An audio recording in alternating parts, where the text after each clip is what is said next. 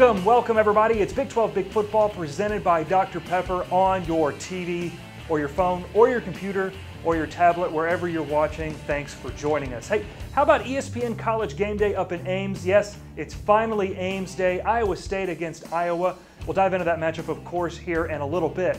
TCU travels up to Purdue this Saturday. We're going to talk about Jalen Reagor a little bit and what he wants to do this season. Kenneth Murray and that Oklahoma defense will take the road and take on UCLA, a team that's struggling right now. Murray really wants to take control and bring back that Oklahoma defense.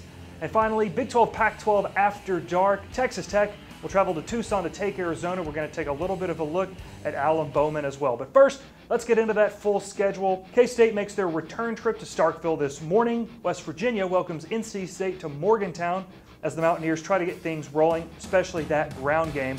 Oklahoma State will travel to Tulsa, then Iowa State, Iowa, TCU, Purdue, OU, and UCLA. Texas will head down to Houston to battle Rice, and the Red Raiders out in Arizona. But we start in Ames in the Iowa Corn CyHawk Series.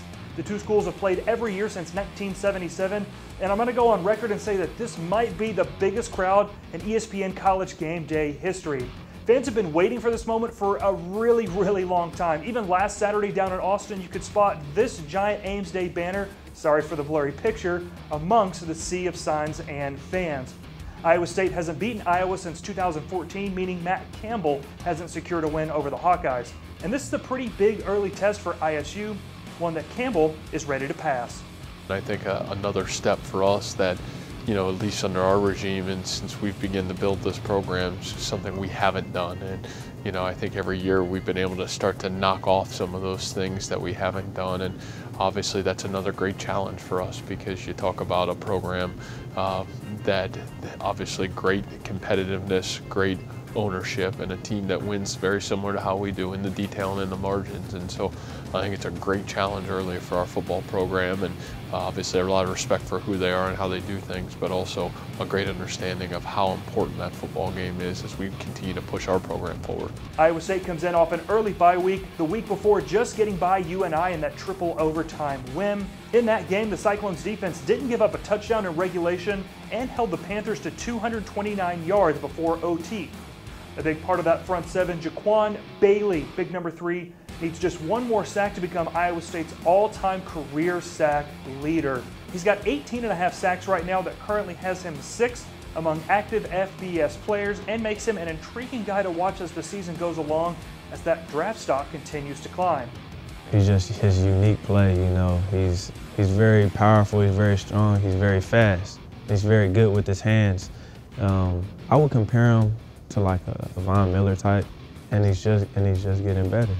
So it's, it's freaky. The Cyclones are going to need that unique play on Saturday. The Iowa Hawkeyes haven't committed a turnover in this game since 2015. Bailey in that defense certainly want to change that. Kick at 3 p.m. on FS1. College Game Day gets going on ESPN at 8 a.m. Central Time. TCU hits the road to take on Purdue on Saturday night, and there's no denying one of the biggest impact players on the offensive side of the ball for the Frogs is wideout Jalen Reagor. The junior is already one of the top receivers in TCU history. He's third in TD catches in just over two seasons of play and trails Josh Doctson by nine touchdowns for the all-time TCU record. That's not bad company to be in. Reagor has caught a touchdown in eight of his last nine games, including a 37-yard score against UAPB to start the season a couple weeks ago. In Purdue's win last week, the Boilermakers defense surrendered 420 passing yards, and though they may have been selling out to stop the run against Vanderbilt, TCU brings in weapons both in the backfield and at wide receiver. We're paying too much attention to Reagor or anybody else will burn you. I mean, I'm not really worried about that because you know once once people start paying too much attention to me, then that opens the team that opens it up for my teammates, and I have we have a lot of playmakers, so I mean, they not they won't be able to double me for too long because we have a lot of we have a lot of playmakers, a lot of people that can run. Well, even out of high school, you know, he's a six-eight high jumper, so he can elevate, and he and he's you know he ran on a four by 100, then ran a 40 point something. I mean, he can he can roll. You know, we just we need to keep him healthy. I think the biggest thing is getting to Saturdays. Those TCU playmakers will be on full display Saturday night, 6.30 p.m. Central Time on the Big Ten Network. The Oklahoma Sooners currently hold the nation's longest true road game winning streak with 20 straight wins. That run will be on the line Saturday at the Rose Bowl as OU makes the return trip against UCLA. The Sooners won handily last season in Norman, the Bruins off to an 0-2 start this year. Oklahoma's put up ridiculous numbers on offense in its first two games. Obviously, Jalen Hurts getting a ton of attention right now. But I want to take a look at that Oklahoma defense for just a second. The Sooners have been notably down on the defensive side in recent years, but OU brought in former Ohio State coordinator Alex Grinch to revamp the Sooner defense. We won't really be able to note tangible change on that side of the ball until OU gets a few games under their belt, but one guy that continues to make his impact felt is senior linebacker Kenneth Murray. K9 through two games is in the top six in total tackles, tackles per game, and tackles for loss in the Big 12, and he's only getting better. The senior had to step it up this year and be a leader on that defensive side of the ball. He was named a captain before the season began. He's excited about the new scheme under Coach Grinch and is ready to show everybody what this Sooner defense can do. I think that's really the biggest thing with, with having a new coach. Um, just you know, really seeing, you know, the mentality that he wants to instill into the defense and then really, you know, taking that and running with it and being a leader and really, you know, taking that and trying to get all my other guys to buy into that. I think that's really where the biggest change comes in is, you know, just the mentality that Coach Grinch is enforcing with us and just getting everybody on the same page.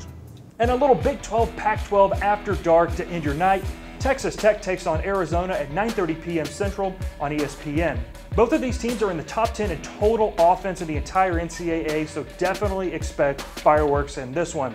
Arizona gave up 41 points to FCS opponent Northern Arizona last week and nearly 375 passing yards. So you know Tech quarterback Alan Bowman and that high-powered offense are licking their chops. Bowman is eighth in the nation and leads the Big 12 in passing yards per game for two games. Coach Wells knows he's got a young, talented, and coachable quarterback to lead this team now and in the years to come. I'm excited to coach him the next three years. He's smart. Um, he can see the field. Um, he can anticipate. And, uh, you know, I think those are qualities that are hard to coach. Seven of the Big 12's nine games this weekend are against Power 5 opponents. That's the most among peer conferences. The league also has the toughest strength of schedule among all conferences based on opponents' winning percentage. Now, let's check out the top plays from last week, courtesy of our friends over at Stadium. Check it out. Fourth and three. Thompson. Deep shot. That's Malik Knowles. Touchdown. Freshman Juwan Hudson's out on the corner covering the talented and speedy Malik Knowles. On fourth down, they're not just going for the sticks. They're not looking for just to pick up a first down. They're taking a shot to the end zone. Kansas State has been excellent on third down today. They're four of five. Here's James Gilbert. He's stonewalled, but he spins free. Nothing but green pasture ahead. Finally roped down at about the five. Second offensive possession for Baylor. Charlie Brewer hands it off to Ebner. Changes direction, makes a man miss. Looking for the outside. He's got there. Look at Ebner go. Oh my goodness. Ebner still on his feet inside the 20 and out of bounds. Are the key to Sam Ehlinger on first and second down. Jason turns the corner, can't get there, and Eagles catches it and keeps his feet. Brennan Eagles into the end zone. Touchdown, Texas. The football, and he underestimated where that football was thrown. It got over top of him. An easy catch for Eagles. Walks into the end zone for the Horns. And, uh, and the first thing you got to eliminate when you start building a program. Braylon Arnold makes the first man miss, has room to run on the right side. He's got a chance for six. Braylon